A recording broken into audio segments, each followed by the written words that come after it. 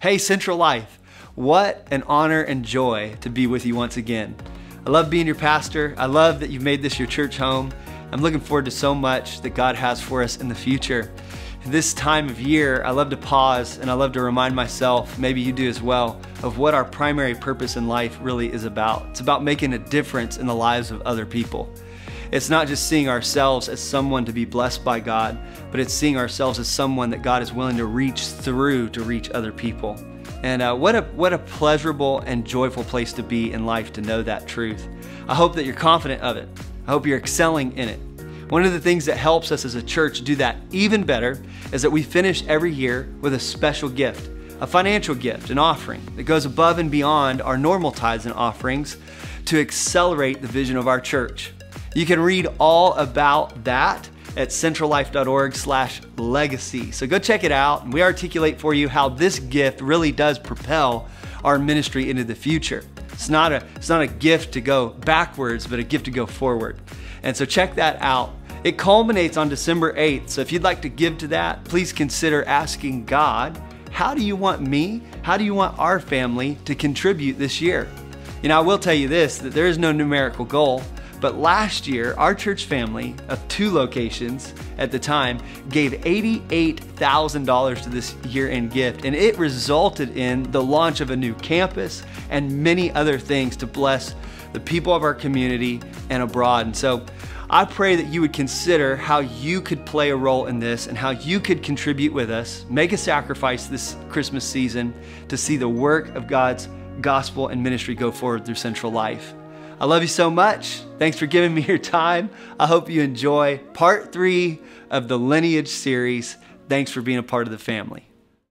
All right. Well, hey, Good morning, good evening, whatever hour it is that you're with us today. Welcome to church. We're so glad that you're here in the house, whether you're live in the room with me today or uh, you're on one, at one of our venues uh, at another location or you're watching online. Hello to all of our campuses, Oceanside and Pineda and Cocoa West, as well as our friends in Kingman.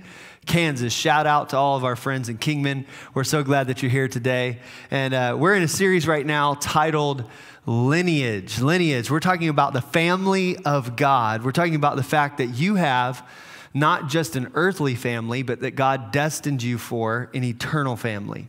Your eternal family is, is really the focus of this series and really helping us understand what the big picture is when it comes to God's word and his redemptive plan. We want to understand in this season right now, we want to understand what is it that God has invited us into what are, what is the pathways of the journey that he wants to walk us through? That is the markers, the qualities, the, the, um, the values of being a part of the family. That's what we're talking about. And so there's this lineal descent from an ancestry in your life. And I've been trying to present to you that there's also a faith one, not just an earthly one, there's a faith one. And so that's what we're talking about. And, and just to, to catch everybody up and to summarize, here's, the, here's what we've been talking about. There's four major principles that we see in God's word repeated from Genesis through Revelation. In all of those places, in all of those, in every text, there's, there's always these four that keep repeating. And they are invitations of God. And here's what they are, just to summarize Know God is the first one. He wants a relationship with you. The second one is that God invites you to freedom. He wants you to find and discover freedom. And uh, we're going to spend most of our time today talking about that very step. Uh, the third is He wants you to understand that redemption is possible. And we define that as discovering purpose in life. We say it this way the best and greatest day of your life was the day you were born. You arrived here. I mean, what could compete with that? If that didn't happen, you wouldn't be here, you'd have no other days. The second greatest day of your life is the day you find out why. There's a purpose on your life that's God breathed, that He envisioned for your life. And then finally, there's an invitation from God to make a difference with your life. And those four things are really principles of God, invitations of God to the purposes He has for you and to be a part of this family, this family called the body of Christ, the, the bride of Christ, this relationship that's ongoing now for thousands of years that he's been creating. So we're talking about that and we're digging into it. And what I hope that you see, what I really hope you see that, that brings clarity to you is that our church is structured around those principles. We want you to walk in those pathways because they're God designed pathways. So, for every one of those principles, we have an environment that has its primary purpose is to see you grow in one of those four invitations. Today, I want to talk to you about freedom. I want to talk to you about finding freedom. And just so that we're all on the same page, last week we talked about knowing God, beginning a relationship with Him. Today is slightly different. And I know that in our Christian faith, sometimes people struggle with the difference between salvation and freedom, or salvation and being delivered. Sometimes we mix the two in a way that we misunderstand what they are. So I want to bring clarity to that, and then we're going to dive into the freedom part really deep, okay? So follow with me. I want to read to you from a text in just a moment, but I want to make this qualifying statement that when God brought salvation to you and you began a relationship with you, God saved you on his own. And what I mean by that is God did not need you to do the saving or to play a part in that saving. He did it on his own. So, let me show it to you in the Bible, just briefly, so you get the, the, the contrast between these two, the difference between salvation and freedom or salvation and deliverance. It says in Ephesians chapter 2, verse 8, God saved you by his grace when you believed. And you can't take credit for this, it is a gift from God. It's a gift. In other words, you didn't you didn't earn this thing, you didn't perform for it. God saved you on His own as a gift to you, His grace. Salvation is not a reward, it's not effort based, not performance based. It's not a reward for the good things you've done so that none of you can boast about it. In other words, what God wants us to know is that salvation and the work of salvation belongs to Him alone. But the second thing, the second thing that, that I want to point out to you today is there is a pathway of deliverance that's different, and God expects your participation in that step. Salvation was His and His alone, but freedom is you and Him together. In fact, we're going to learn that it's more than just you and Him, it's you and other people together. But here's what the scripture says about it just so it's clear to you Philippians chapter 2, verse 12 work hard to show the results of your salvation. And uh, here's, the, here's the dilemma, and here's where we get hung up in our Christian faith and in our walk with God is that we know that salvation was God alone, and it almost gives us a little bit of a, a deterrence from trying hard because we, we don't want to we don't want to be guilty of trying to work our way into God's favor. And and we know that it was him alone. But because of it sometimes we abdicate our responsibility to work hard. Work hard to show the result the Bible says of your salvation. Work hard and, and it unpacks it for us. Obeying God here's how you work hard. Obey God with deep reverence and fear. For God is working in you, giving you the desire and the power to do what pleases Him. In other words, your work matched with God's work in you is going to produce a freedom for you that He deeply intends and desires for you. And it's going to be awesome. We need freedom today. And so here's my disclaimer to you. My disclaimer to you is this that freedom is not a step for people who are deeply troubled, freedom is a step that God invites and hopes and expects for all people to journey with Him in. It's not for people who are just having these habitual sins and they can't break it. It's not for just drug addicts. It's not for whatever that filter is in your mind to go, oh, I, I mean, deliverance, that's kind of a heavy term. I don't really need deliverance. I'm saved. No, no, no. You need deliverance from the things that separated you from God, that required for you to, to have relationship with Him, that trust would have to take place. Like there's some things in you. And we, we always reference here at Central Life, I always reference for you the Israelites leaving Egypt. God saved them from Egypt, but He had to deliver them by removing Egypt out of their life once they were, were outside of it physically. In other words, it took, and by the way, it took 40 years. It took 40 years for God to remove and deliver them from their sin and the Egypt that was in them that they carried out of that. There's a process, there's a journey. It doesn't happen overnight. You can have salvation immediately because it's God's work on your behalf. But deliverance is an everyday occurrence of surrender that you walk with God through. There's this fantastic text in the New Testament, and um, Jesus is the centerpiece of this text in Matthew 11. And in Matthew 11, some interesting things take place, but I just want to highlight for you, kind of summarize. Jesus has sent his disciples out to preach and to minister to these communities all through northern Israel, all around the Sea of Galilee. And they're going out preaching and they're, they're healing people and they're doing the work that he was doing, and they're an extension of that. And as he goes about doing that, some time passes, and some of those towns he went to, some of them, they not only received the miracles that he brought and that his disciples brought, but they repented of their former way. In other words, they, they, they pursued true deliverance with Jesus and became followers of Jesus by, by surrendering and, and setting aside the things that had bound them up and turning to Jesus as their answer for all things. And, and then there were towns and cities, and he warns them. He says, There are some towns and some places, he names them. He actually names the cities, and he says, You did not repent.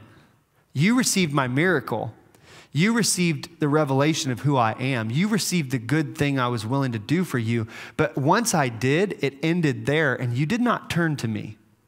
And he makes this astounding statement at one point, and, and he says, There is one of you, there's one of you, I like it was his hometown, Capernaum. He says, You've been raised up to the heavens, but you're gonna be you're gonna be taken down to Hades. That's the word for hell, because he says, You refuse to repent.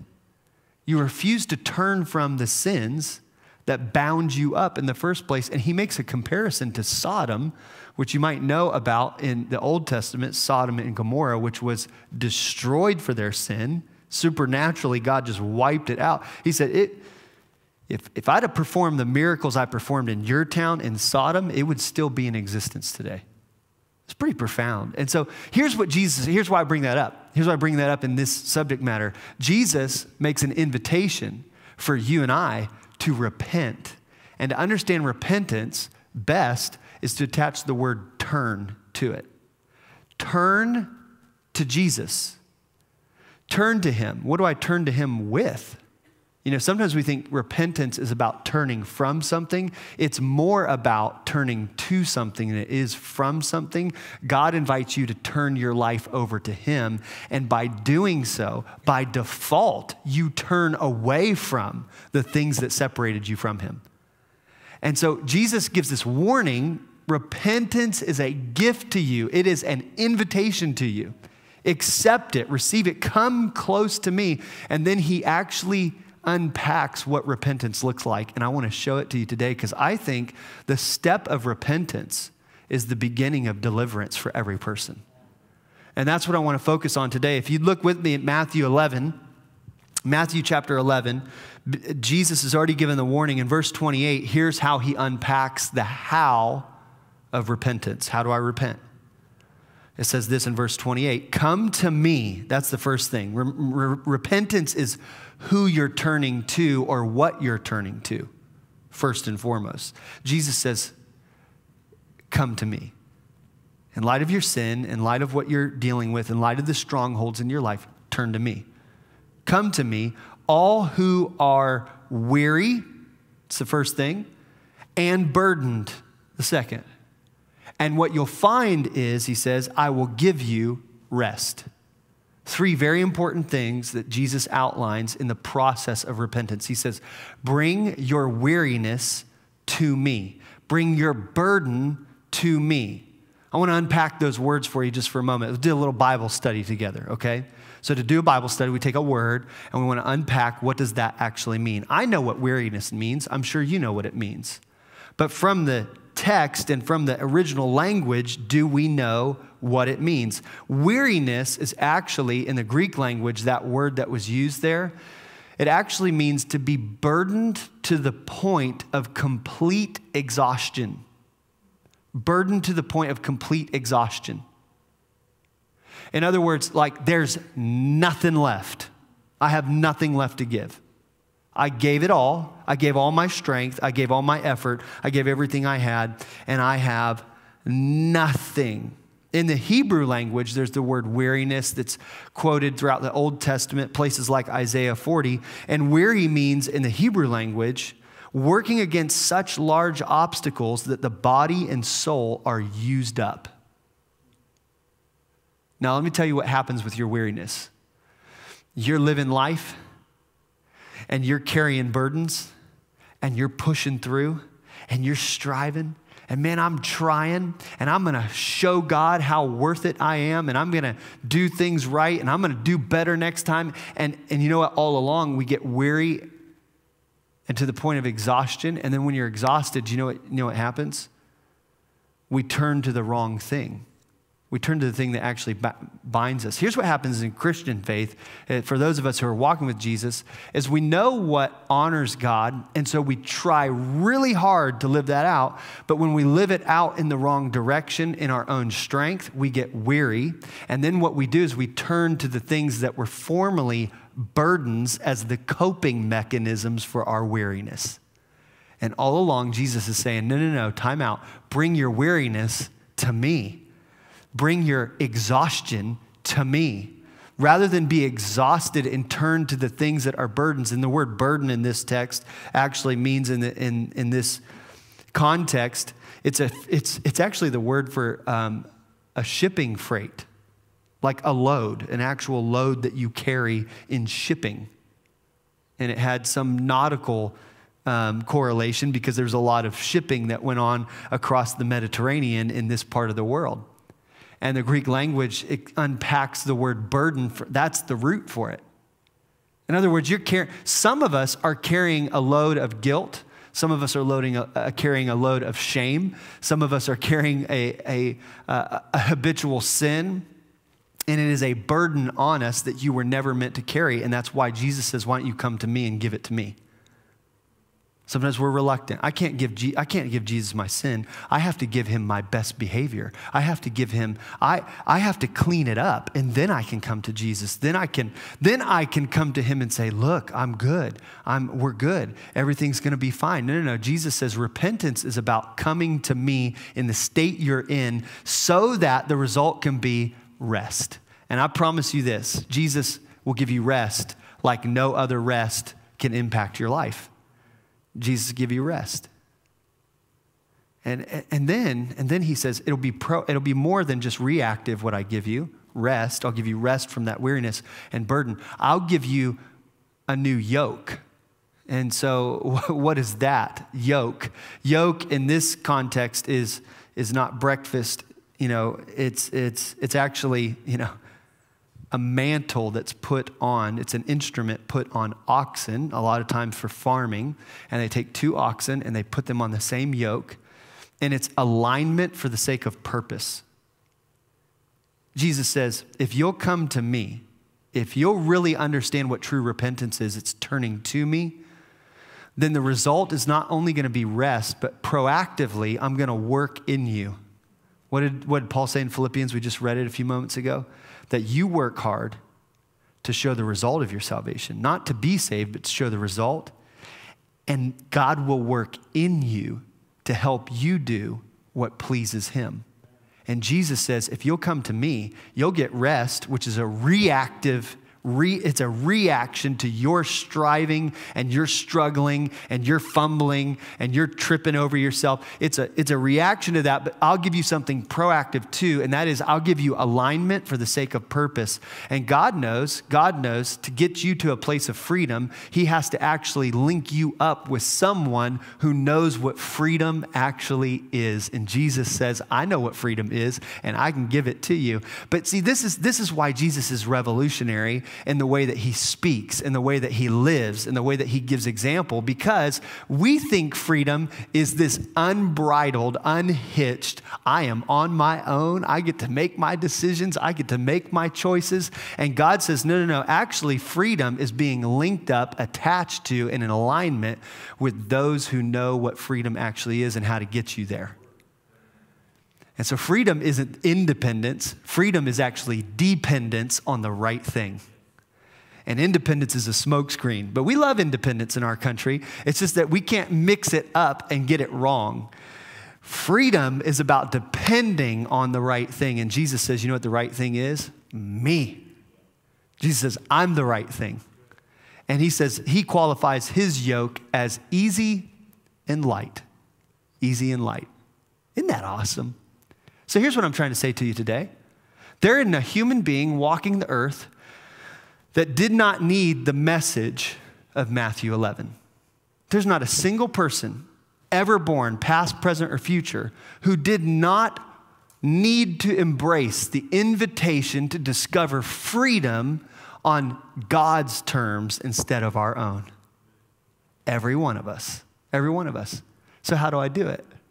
How do I, how do I not only turn to Jesus, but what does the active faith of that look like? That's where I want to take you today. I want you to leave this room. I want you to leave the auditorium you're in and watching from today. I want you to, I want you to leave your house today if you're watching from home. I want you to, I want you to move into the rest of your week knowing what are the steps of active faith that show I'm a repentant person that produce in me this freedom that God has desired. Because listen, we're not here to learn something about the Bible, we're here to live the Bible. We're not here to learn new thoughts or new ideas and go, that's interesting. We're here for not information transfer, but for transformation in our life, which means we've got to participate in this active work of freedom that Jesus has offered to us. So I want to walk you through a few things. If you'd look with me, It'll be on the screen. I encourage you to take notes. But what does an active faith look like in pursuing freedom? It means I repent for a few reasons, okay? I want to unpack it for you in my own words, but I want to give you some good anchors from God's word that will help you see what the value of Jesus' invitation was. In other words, we studied Matthew 11 for a couple minutes. I want to show you how to take active steps and give you some cross references. That means other places in the Bible that will reaffirm that and help you understand how to walk in it. We pursue freedom and repentance. We want to be delivered by Jesus, and we go to him because there are some things that we do to ourself that harm us, that bound us up. That's the first thing I want you to write down. You need to be free from the things you've done to you. Some of us have done some really awful things to ourselves. Pastor Randy last week took the second part of our, our series, and, and Pastor Marnus, and they both co taught that with me. And, and I love what Pastor Randy mentioned to us. He said, You know, if you talk to your friends like you talk to yourself, some of you wouldn't have any friends left. There's just some things we do to ourselves that we actually put bondage on ourselves for the way that we act against ourselves. Let me show it to you in, in God's word, Romans 7. See if you can relate to this at all. See if you can relate. It says, Romans 7, verse 21, I find this law at work. Although I want to do good, evil is right there with me. For in my inner being, I delight in God's law. I love his word. But I see another law at work in me, waging war against the law of my mind and making me a prisoner of the law of sin at work within me. There's a war, a war between God's love and God's truth and the sin that's inside of me. And, and here, here's, Here's what it says I'm a prisoner. And then he says this What a wretched man I am. What a wretched person I am. Who will rescue me from this body that is subject to death? Thanks be to God who delivers me through Jesus Christ, our Lord. In other words, I can tell you right now, there are some things represented in, the, in our church family today, in our very rooms, in, in these auditoriums. There are some of you walking through life and you are carrying a burden, a load of sin that you weren't meant to carry. And you, in your, in your frustration of not measuring up and getting weary in life, you keep returning to that burden. You're repenting but your repentance is towards the wrong thing. And as you keep returning to that, what you're actually doing is you're giving in to the war within you and you're taking the loss. You are the collateral damage of your choice to sin. You are. And you need set free from it. Some of you today, as I talk to you that way, you squirm a little bit in your seat because there's a fear within you that maybe maybe i'm going to get really mad maybe i'm going to uh, the pastor's going to get angry he's going to yell about it i'm not going to yell about it some of you squirm because you know this hurts, but nobody knows about it. And man, if they knew about it, all my credibility would be lost. Oh, I might lose my family over it. I might lose some money because of it. I might lose some reputation and perception of who I am. I'm just telling you, you with your mask off is a whole lot better with you with your mask on. You know why? God can't bless who you're pretending to be. He can't, He won't. How could He? The pretend you isn't real. And you're carrying secrets that nobody knows about, and they don't need to be secrets anymore because as long as you carry them, you will be as sick as your secrets. God can't, God can't bless your selfie. You know, that, you know how you take your, we all do this, right? I got my phone right here. This would be great. You know, you take your phone and you take this selfie, but you never, first of all, you never take a selfie from this angle, right? Never. Never right? Because if you take a selfie from here, you have 16 chins. You know what I mean? Like, you don't do that. That's not how you do it.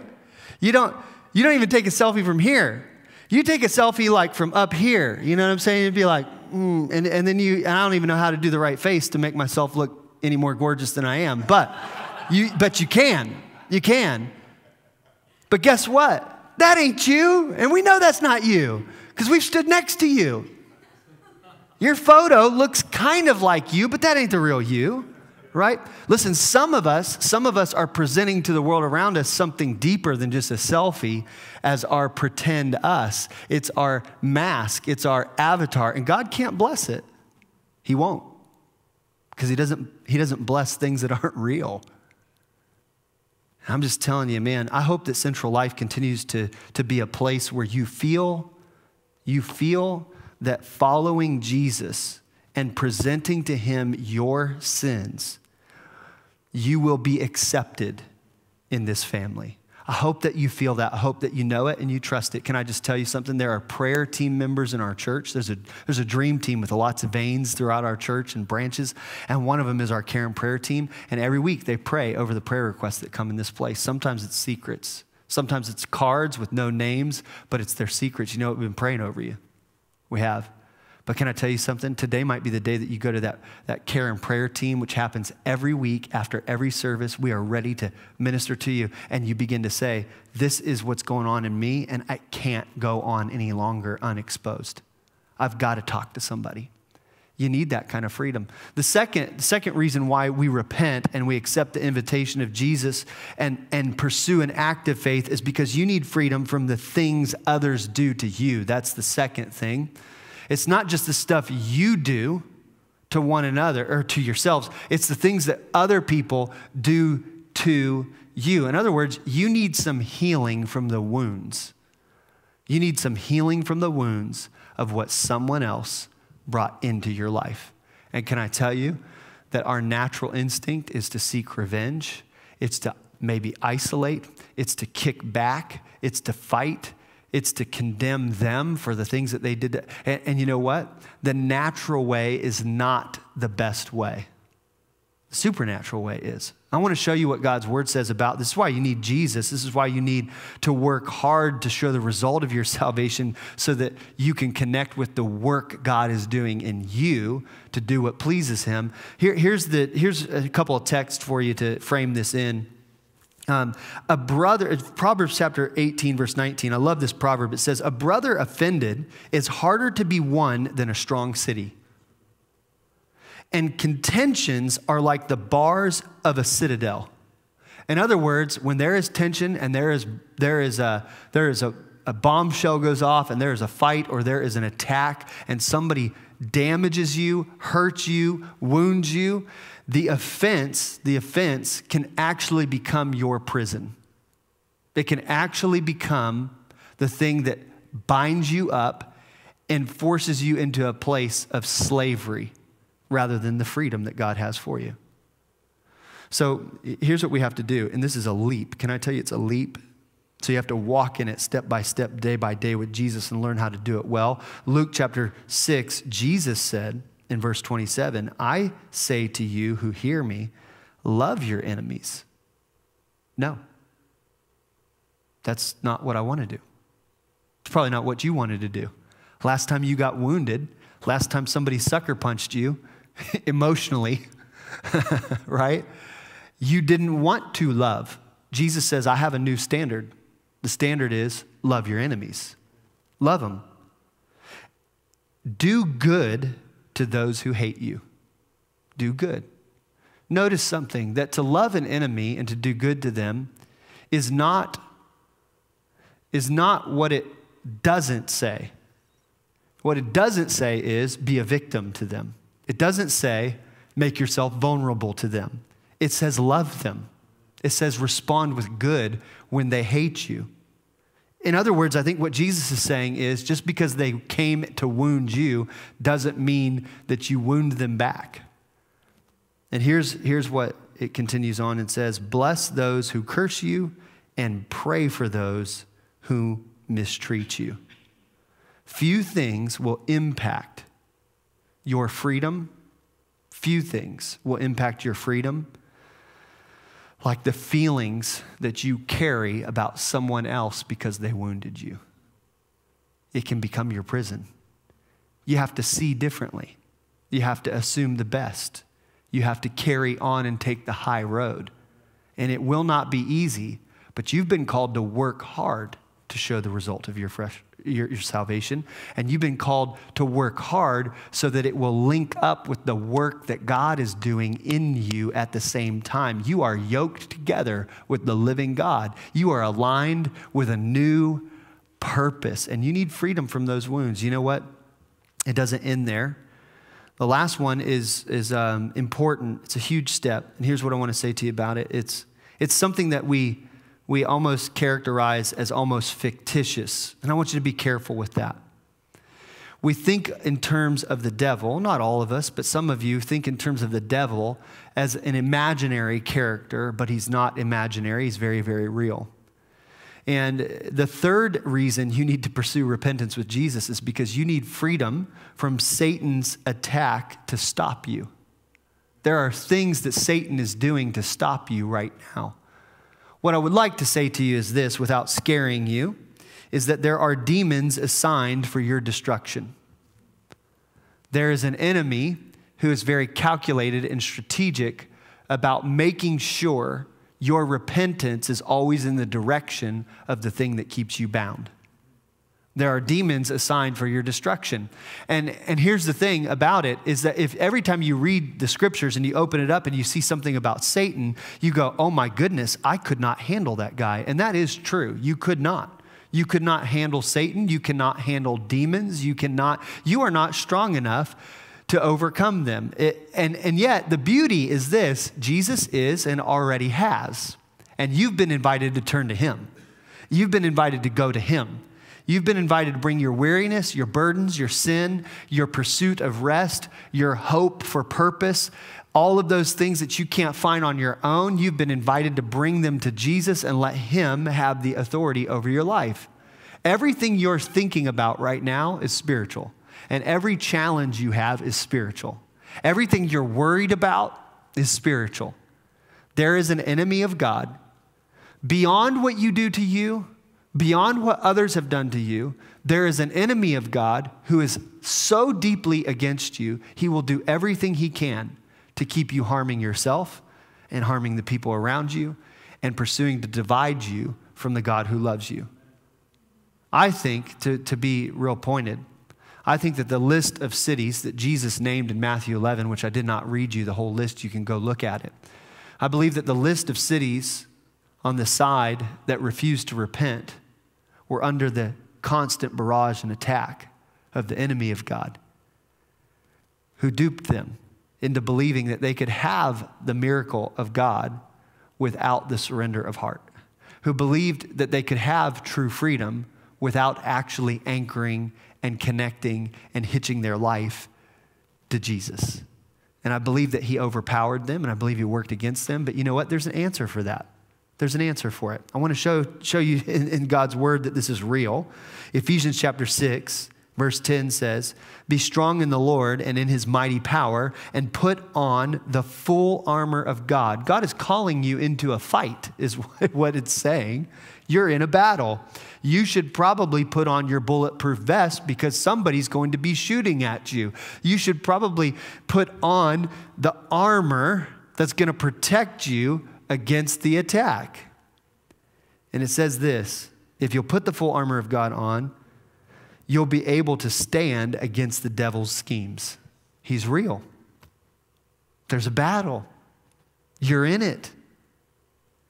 Our struggle is not against flesh and blood, but against the rulers, against the authorities, against the powers of this dark world, and against the spiritual forces of evil in the heavenly realms. There's a real battle going on. God's not making this up as an analogy or a metaphor for something. God is saying this is real. There's a battle going on that you can't see with the physical eyes He gave you. It's a spiritual battle, and the only way to overcome it, I'm telling you, is to turn to the one who has authority over all of it. It's the only way. It's the only way. God never said that there wouldn't be weapons that form against you, He just made a promise that they wouldn't prosper. You know, what we learn about Satan in God's word is that he was a worship leader. He was heaven's worship leader. It's what he did. That was his role. That was the purpose for which he was created. And he rebelled against God. He sinned himself. He, Satan himself, sinned against God. And he was cast out of heaven. The Bible says, Jesus said, I saw him fall like lightning from heaven. He was cast from heaven. And, and here's the thing he forfeited his role as the worship leader of heaven. And God's response to that was to create humanity in his image and to bring them into a lineage of faith, an ancestry that he wanted to create, a family of God. And our role in life and our purpose in life begins does it begins with the first step of worship. In other words, God gave to you and I the role that Satan forfeited. And he said, Everything begins in him and everything will end in praise. You and I were destined to praise God forever in the way that Satan decided to forfeit. And you know why I'm telling you all that? Because I'm telling you that the spiritual battle, the spiritual battle and the putting on of the armor of God begins with your willingness to turn to Jesus and to give him the worship and the praise that he deserves. When he gets what he deserves, you can't be, Satan cannot touch you when you are worshiping God with your life. It ain't gonna happen. He's not come, he's, his weapon will be formed, but it will fail. Because the only weapon he had of any value was the one that God empowered him with, which was the gift to worship, and he forfeited it. Wow. So here's the thing. Here's the thing. You've got to some of us some of us need to do a deep dive in God's word about what it means to praise him. Because some of us are still struggling and we're and we have hurdles in front of us and there's this reluctance to verbalize and vocalize what we believe in our hearts, what we know is true here. We struggle to get it out of us in the form of praise. And I think for some of us that's our first step today is to praise. But let me just kind of summarize this whole thing. Can I just tell you? There is a primary environment that God has led us to create at Central Life to help with the freedom that we all need. In that environment, that environment, along with these steps of active faith, that environment really is about you being in relationship with other people. It's a relationship. That's the key. You need to be yoked. You know what our yoke is, so to speak, at Central Life? It's something called life groups. Life groups are our yoke. It's where we get aligned with great purpose and intention to experience freedom. In other words, you will never experience the freedom that God destined you for until you're willing to link up with people who are pursuing it with Jesus at the lead. That's how it happens. That's how it happens. So if you're not in a life group, I want to encourage you. You got to be in a life group. There's active steps that you're going to take, but can I just tell you, all these things I outlined today, the things we do to ourselves, the things that others do to us, the enemy coming against us, do you know how you fight that? And do you know how you pursue freedom in the midst of all of that? You do life with other people. That's why we call it life groups. Life. Life, you need other people. If you don't have it, you're isolated. If you don't have it, can I tell you what's going to happen? You'll repent. But you'll repent to the things you'll repent to the things that bind you, not the one who frees you. And there's a big difference. There's a huge difference. So I encourage you today to take some steps. I don't know what the Holy Spirit's saying to you, but I love to end with that question, if I can, and ask you, what is the Holy Spirit saying to you? I want to invite you actually to stand to your feet today as we close. And uh, as you do that, I want you to consider that question deeply. I think that God has given all of us the opportunity to be in relationship with Him so that we could have this kind of access and we could hear the prompting of God to us. I prepared some things for you today, but I think God was preparing some things for you in spite of that or beyond that that are very direct, that He knows exactly how to speak to your heart, and that right now He would speak to you in this moment. So I want you to bow with me, and I want you to just begin to ask that question Holy Spirit, what, what are you saying to me today? What do you want for me today? So I encourage you to let the silence of that sit in for just a moment. Let's just be quiet before the Lord and let's ask Him, God, what are you saying to us today?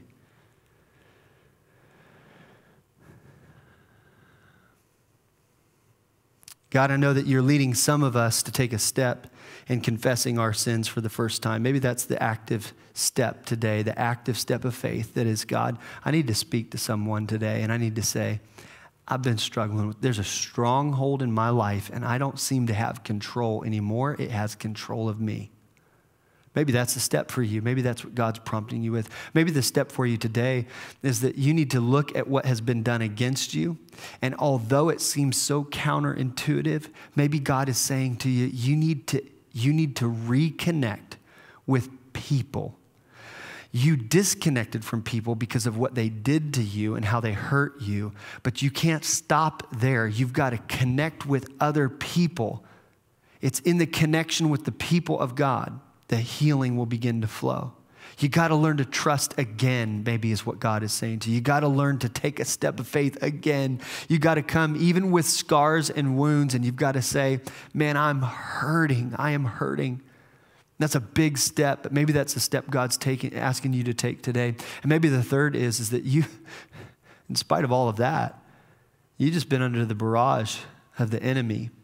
And today you need to, you need to come under the covering the yoke of Jesus Christ, the one who frees us, who delivers us from the war within.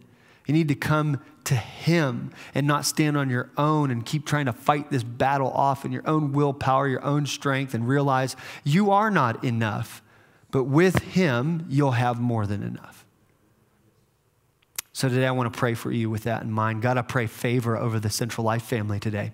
I pray for every person under the sound of my voice today in this room and other, other auditoriums and other places and online, I pray, God, that every person listening today, every person joining me in prayer today would find favor, the favor of God on their life. As we continue to humble ourselves before you, we trust your promise that you will lift us up in due time.